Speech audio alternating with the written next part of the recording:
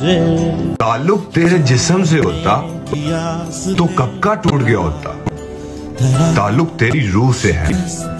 रूह निकलने तक रहेगा